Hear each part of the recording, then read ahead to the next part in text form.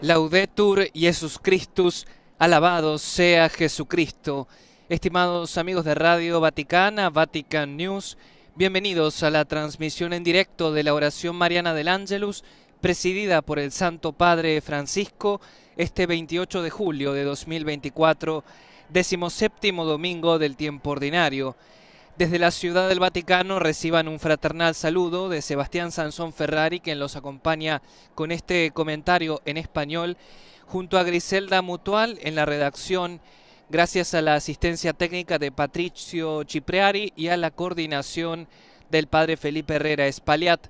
Un saludo especial a quienes nos acompañan a través de Facebook Live, de nuestro canal de YouTube Vatican News en español y de nuestro portal vaticannews.va barra es. Asimismo saludamos a las emisoras de radio y televisión que nos sintonizan en estos momentos y retransmiten la señal. Nuestros amigos del Sembrador Radio y Televisión, Radio Vicentina en Chile, Radio Magna en Chubut, Argentina, Radio Paz de Miami, Setelmón Televisión en España, Radio María Panamá y Guatemala, también a Radio María en El Salvador y en República Dominicana, a Radio y Televisión Cáritas, Universidad Católica en Asunción, Paraguay, Radio La Voz de María en Ecuador, Radio Católica en Cuenca, en Ecuador, Catholic Faith Network en Nueva York, Radio Inmaculada e Inmaculada Televisión Santa Teresita Radio y EWTN Radio y Televisión. Ya vemos en imágenes a la multitud de fieles y peregrinos de los cinco continentes que están reunidos en la Plaza de San Pedro, preparados para acoger al Santo Padre, quien reflexionará sobre el Evangelio del día según San Juan capítulo 6 versículos del 1 al 15 apreciamos muchísimas banderas de diferentes países y también sombrillas que portan los peregrinos, los fieles, los turistas para hacer frente a las altísimas temperaturas que se registran en la ciudad de Roma en este periodo estivo. Hablamos de temperaturas superiores en esta temporada a los 35 grados centígrados. Hoy la Iglesia celebra la cuarta jornada mundial de los abuelos y los mayores, bajo el lema En la vejez no me abandones, tomado del Salmo 71. Ha sido instituida por el Papa Francisco en 2021. Y recordamos justamente que en el mensaje para esta jornada Francisco invita sobre todo a tener un gesto de caridad hacia las personas mayores que están solas, desanimadas o que ya no esperan que un futuro distinto sea posible. Los invitamos a leerlo en nuestro sitio en internet vaticannews.va barra es. Y también para esta jornada el Papa concede una indulgencia plenaria a quienes la celebren, cumpliendo con las condiciones establecidas por la Iglesia, es decir, la confesión sacramental, la comunión eucarística y la oración según las intenciones del romano pontífice. Esto lo ha dispuesto el Santo Padre a través de la penitenciaría apostólica que publicó un decreto relativo a este tema.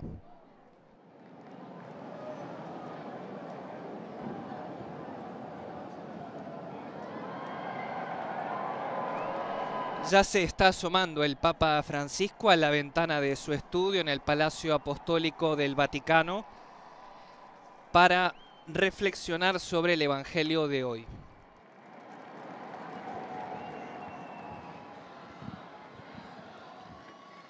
Cari fratelli e sorelle, buona domenica. Queridos hermanos y hermanas, feliz domingo. Hoy el Evangelio de la liturgia nos habla del milagro de los panes y los peces. Un milagro, es decir, un signo, un signo cuyos protagonistas realizan tres gestos que Jesús repetirá en la última cena. ¿Cuáles son estos gestos? Ofrecer, dar gracias y compartir.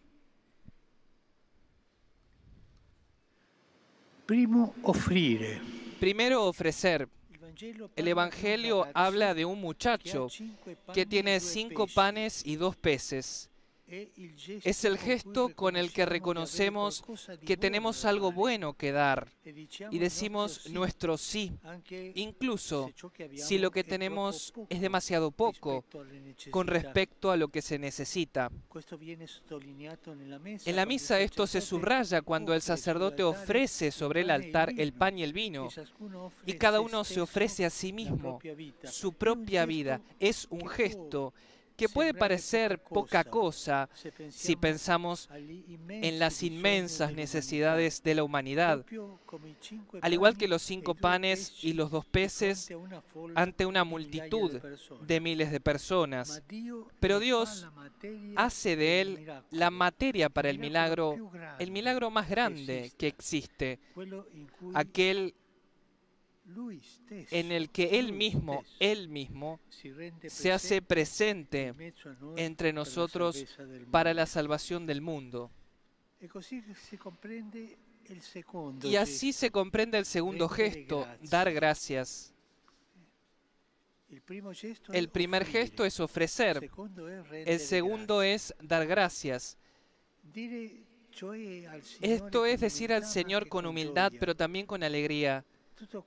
Todo lo que tengo es don tuyo, Señor, y para agradecértelo, solamente puedo devolverte lo que tú me has dado primero, junto con tu Hijo Jesucristo, añadiendo lo que puedo. Cada uno de nosotros puede agregar alguna cosa. ¿Qué puedo dar al Señor?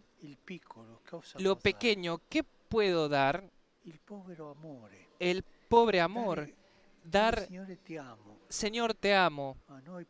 Pero nosotros, pobres, nuestro amor es así pequeño, pero darlo al Señor, el Señor lo recibe.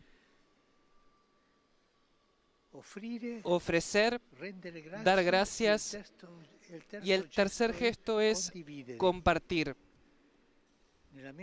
En la misa es la comunión, cuando juntos nos acercamos al altar para recibir el cuerpo y la sangre de Cristo, fruto del don de todos, transformado por el Señor en alimento para todos. Es un momento muy hermoso. de la comunión que nos enseña a vivir cada gesto de amor como un don de gracia tanto para quien da como para quien recibe. Hermanos, hermanas, preguntémonos, yo creo verdaderamente por gracia de Dios que tengo algo único que donar a los hermanos o me siento anónimo, uno entre muchos. Soy protagonista de un bien a dar, soy agradecido al Señor por los dones con los que continuamente me manifiesta su amor. Vivo el compartir con los demás como un momento de encuentro y enriquecimiento recíproco. Que la Virgen María nos ayude a vivir con fe cada celebración eucarística y a reconocer y gustar todos los días los milagros de la gracia de Dios. Angelus Domini nunciavit Mariae. Et concepit de Spiritus Sancto. Ave Maria, gratia plena, Dominus tecum, benedicta tu mulieribus, et benedictus fructus ventris tui, Iesus. Sancta Maria, Mater Dei, ora pro nobis peccatoribus, nunc et in hora mortis nostre. Amen. Ecce ancilla Domini. Fiat mi secundum verbum tuum. Ave Maria, gratia plena, Dominus tecum, benedicta tu mulieribus, et benedictus fructus ventris tui, Iesus. Sancta Maria, Mater Dei, ora pro nobis peccatoribus, nunc et in hora mortis nostre. Amen. Et verbum caro factum est. Et habitavit in nobis. Ave Maria, gratia plena, Dominus tecum, benedicta tui mulieribus, et benedictus fructus ventris tui, Iesus. Sancta Maria, Mater Dei, ora pro nobis peccatoribus, nunc et in hora mortis nostre. Amen. Ora pro nobis, Santa Dei Genitris. Ut in efficiamur promissionibus Christi. Grazie a Tua, in quesum Domine, mentibus nostris infunde, che angelo annunziante, Christi Fili Tui, incarnazione cogno, per passione meius et crucem, a resurrectionis gloriam perducamur, per Christum Dominum nostrum. Amen. Gloria Patri et Filio et Spiritui Sancto. Sicut erat in principio et nunc et semper, et in saecula saeculorum. Amen. Pro fidelibus defuntis, requiem aeternam dona eis Domine. Et lux perpetua lucia Teis. Requiescant in pace. Amen. Sit nomen Domini benedictum. Ex hoc nunc et usque in saeculum. Aiutorium nostrum in nomine Domini. Qui fecit celum et terram. Benedicat vos, omnipotens Deus, Pater et Filius et Spiritus Sanctus. Amen. Ofrecer, dar gracias y compartir son los tres gestos en los que el Santo Padre ha detenido su reflexión sobre el Evangelio del día.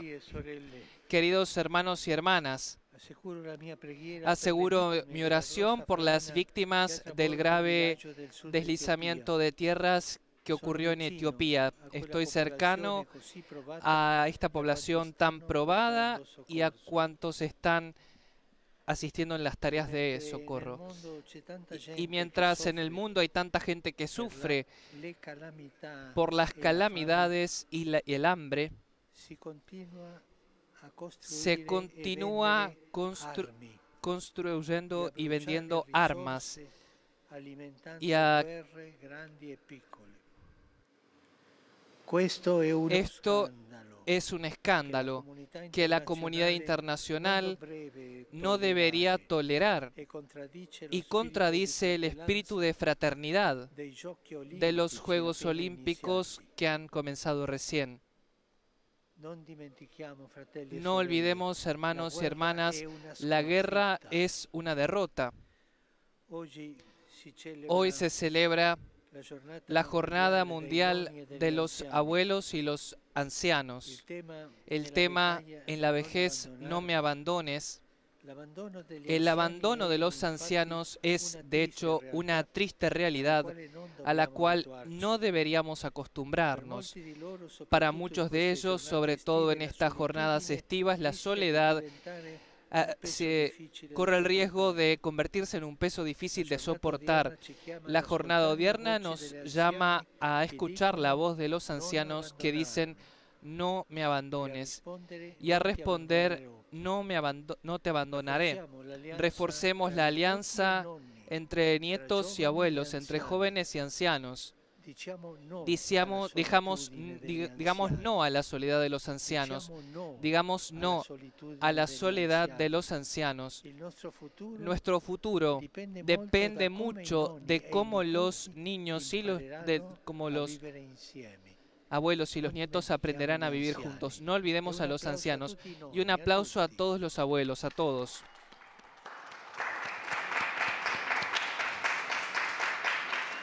Saludo a todos ustedes, romanos y peregrinos venidos de tantos lugares y partes de Italia y del mundo. En particular, saludo a los participantes en el Congreso General de la Unión del Apostolado Católico. Los chicos de la Acción Católica de Polonia y a los de la Unidad Pastoral Riviera del Pollo, Selmide, en la diócesis de Mantova, al grupo de la diócesis de Verona. y a los animadores del oratorio Carlos Acutis de Cuartu Sant'Elena. Envío un saludo a los que participan en la conclusión de la fiesta de Nuestra Señora del Carmen en Trastevere. Esta noche se realizará la procesión de la Madonna Fiumarola en el Tíber. Aprendemos de María, nuestra Madre, a poner en práctica el Evangelio en la vida cotidiana. Había escuchado algún canto neocatecumenal. Después me gustaría volver a escucharlo. Les deseo a todos ustedes un feliz domingo. Y por favor, no se olviden de rezar por mí. Buen almuerzo y hasta luego.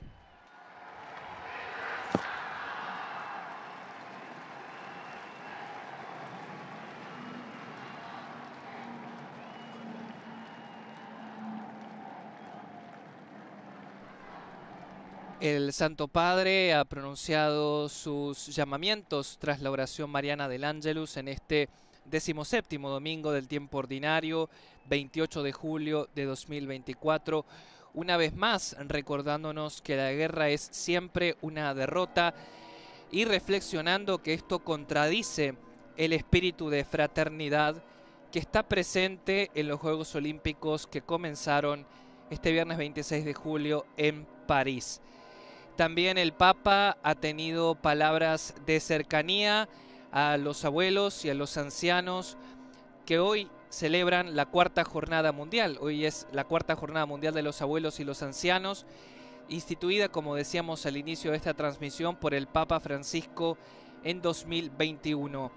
Una vez más, Francisco ha criticado el abandono, la soledad a la que muchos ancianos son expuestos y ha pedido reforzar la alianza entre las generaciones.